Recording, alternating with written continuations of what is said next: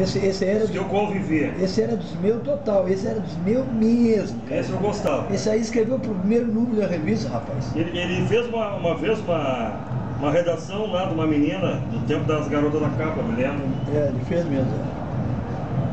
Agora, eu,